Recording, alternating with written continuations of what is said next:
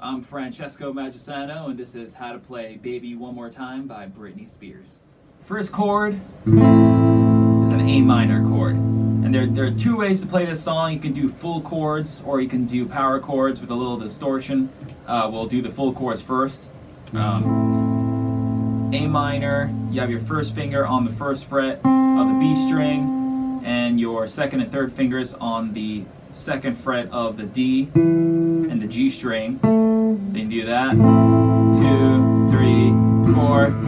E major, which is the same shape, just move down uh, one string. So your first finger, first fret of the G, second, third fingers on the second fret of the A and the D, and you play all six strings. First chords you only play uh, up to the A string. You don't play this low E string. Second chord you play all six. Two, three, four.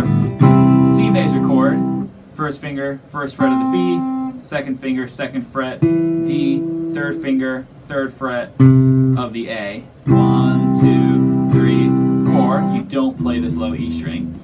And then D minor, first finger, first fret of the high E, second finger, second fret of the G, and third finger, third fret of the B.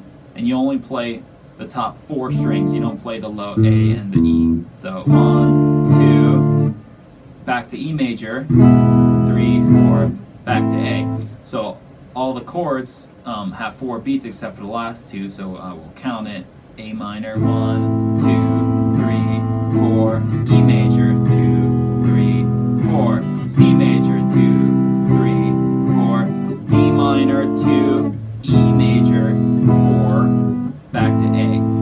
that's pretty much the entire song.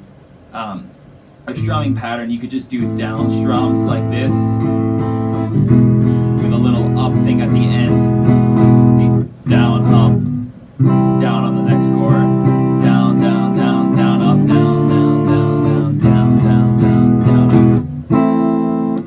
want to do this with a little distortion, so you don't want all like the full chord, you can just do power chords. And you can either do two string power chords, you can do the octave right above. So just one, E, C, D, E.